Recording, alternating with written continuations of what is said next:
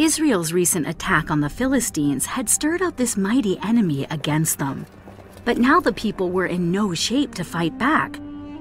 King Saul had made godless and arrogant decisions, leading Israel into confusion, distress, and fear, so that their eyes were not on the victory God could provide, but only on an enemy that outnumbered them by the thousands. Many of King Saul's armies had deserted him, and the few who remained lay hiding in caves, rocks, tombs, and cisterns. But among the faithless there lived one courageous young man who would not submit to defeat. His name was Jonathan, and he was the king's own son. Jonathan knew that if God was for them, it didn't matter how many stood against them. He pointed to the top of the cliff as he spoke to his armor bearer. Let us go up ourselves against these dreaded Philistines. It may be that God will fight for us. The servant replied, Do what you must do. I am with you, heart and soul. So the two began to make their way toward the enemy. As they paused at the opening of the narrow and treacherous canyon, Jonathan presented the plan. We must be sure that today is the day God will give Israel victory over the Philistines. We will cross over to the enemy and make our presence obvious to them. If they tell us that they will come down to where we are, then we will not go any further. But if they ask us to come up and join them, then this will be a sign that God will give us the victory.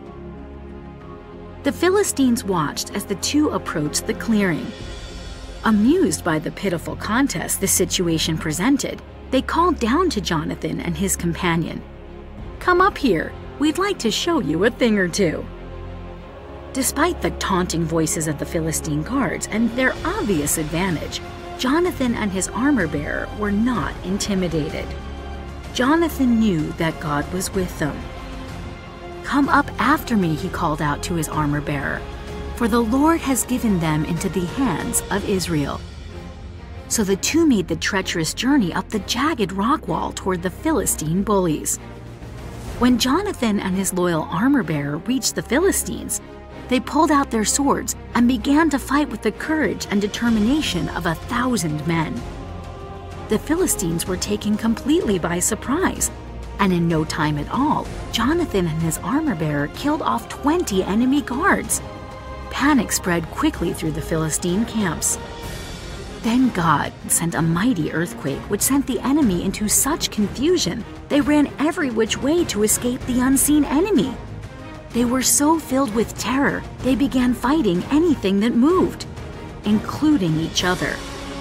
Soon, King Saul and all the men of Israel came out from hiding and began to chase after them in battle. And it was on that day that the Lord saved Israel.